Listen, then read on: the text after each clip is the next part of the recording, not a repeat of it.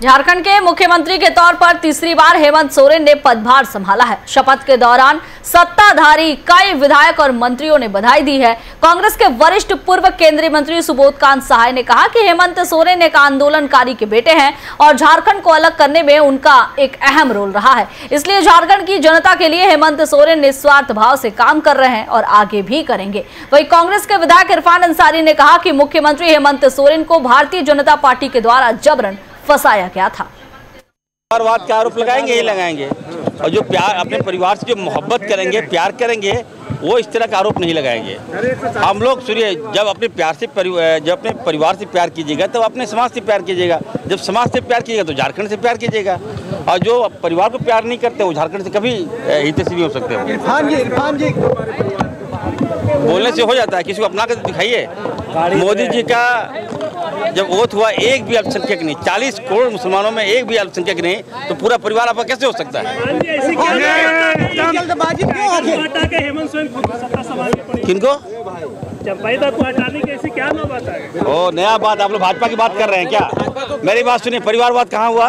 जब हेमंत जी को सुन लीजिए बढ़िया जब हेमंत जी को भाजपा ने अरेस्ट करवाया घर से उठा के ले गया जब हेमंत जी को। उस समय हेमंत जी चाहते तो बसंत जी को बना देते या भाभी कल्पना जी को बना देती तब आता परिवारवाद की बात। उसने बड़ा दिल दिखाया और चंपा सोरेन जी को गद्दी दे दिया। अब बात करते परिवारवाद। और जब जब ब्रेक हुआ सुनिए जब ब्रेक चूहा बना दिए टाइगर को आप लोग। देखिए कौन बोला ये बात? बाबूलाल जी। बाबूलाल जी को बाबूलाल मरांडी जी को न चूहा में कोई अंतर पता चलता है ना टाइगर में? ठीक है? और चंपाई सोरेन जी। टाइगर थे टाइगर हैं टाइगर रहेंगे। हम सबके अभिभावक हैं वो। चंपई सोरेन का एक अपना व्यक्तित्व रहा है शुरू से और उन्होंने एक अच्छा काम भी किया लेकिन लीडर जो है वो हेमंत सोरेन है ये टाइगर भी जानते हैं और ये झारखंड भी जानते हैं। लेकिन लेकिन बीजेपी परिवारवाद का आरोप तो लग रहा है कि परिवार परिवार से परिवार से बाहर नहीं सत्ता देना चाहती है। देखिए सोरन परिवार जो है वो कहीं सोने का जो है वो चम्मच लेके पैदा नहीं हुआ था। ये ऐसा परिवार है शिबू सोरन हमारे साथ चौहत्तर में जेल में थे। और शिबू सोरेन पूरी ज़िंदगी पहाड़ जंगल भटकते रहे। तो वो संघर्ष का परिवार है ये।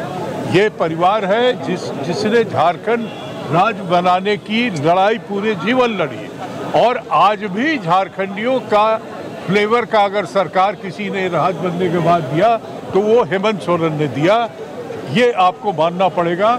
इसीलिए क्योंकि और दूसरी सरकारें जो बनी वो झारखंड के लिए नहीं गठबंधन की सरकार है लेकिन एक ही सिर्फ़ मुख्यमंत्री ने शपथ लिया। मुख्यमंत्री में शपथ लिया क्योंकि कुछ टेक्निकल इशू थे। आप जानते हैं कि पाँच तारीख के बाद छः महीने का एक जो है वो वक्त हो जाता है। और कहावत